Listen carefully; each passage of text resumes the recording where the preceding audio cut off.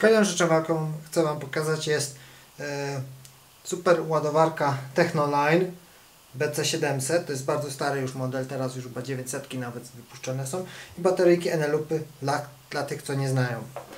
E, Enelupy są to akumulatorki wielokrotnego ładowania e, oparte na innym ogniwie, więc po naładowaniu tak szybko nie tracą ładunku. Są bardziej odporne na jakiekolwiek uszkodzenia. No, dlatego są całkiem, całkiem fajne. E, Pierwsza generacja to były z napisem UTG. Druga to już jest UTGA, a nawet e, hmm, już nie pamiętam tego dokładnie. No, ale je- jeśli to jest ta wyższa wersja, to w aukcjach zawsze pisze o tym, że to jest UTGB. W związku z czym jest bardziej polecana. Sama ładowarka. Dlaczego jest taka szczególna? W zestawie ma dwie końcówki do ładowania. Europejską i angielską. Bodajże. E, każdy kanał, czy każdy akumulatorek jest osobno ładowany.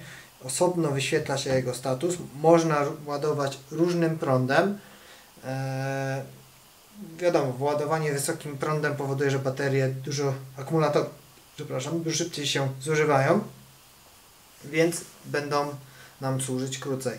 E, Ja przeważnie ładuję na najniższym, bo jestem przeważnie w stanie przewidzieć przynajmniej dobę wcześniej, że będę tego potrzebować. Więc spokojnie wystarczy.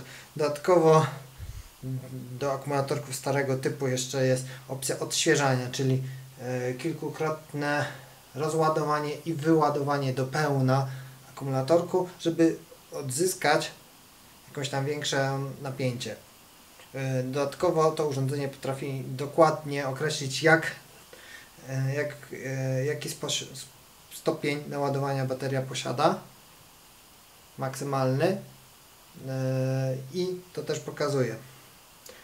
Do, zawiera ochronę przeciwko przepięciową, przeciwprzegrzeniową, no super, naprawdę super. Y, Kupuję jeszcze raz i korzystasz w moim przypadku już siódmy rok z tego. En- Enelupy przez ten czas oczywiście jak wymieniałem, ale samą e, ładowarkę mam już naprawdę długo. Zakup zdecydowanie dobry, mimo że przekraczający 100 zł.